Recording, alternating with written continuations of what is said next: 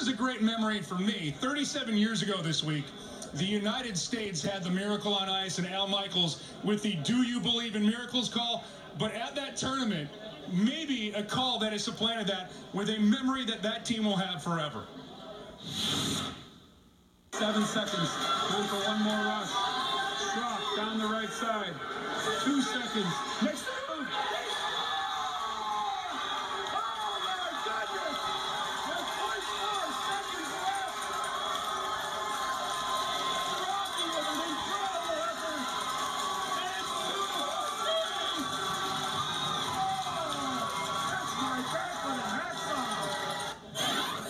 We'll give the credit to Mr. John Latzy making the call there on his iPhone during Facebook Live, showing everyone back here the game.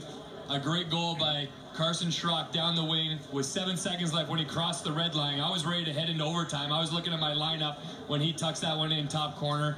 A memory these kids will never Yep. forget and a trip they'll definitely never forget and remember these things for the rest of their lives. 0.4 seconds with that game winner to put the team into the semis. Move over, Al Michaels. I think we have a new play-by-play guy out there. Uh, for the Carolina Hurricanes, though, Shane, as we go back to what happened here in Raleigh, Ron Hainsey got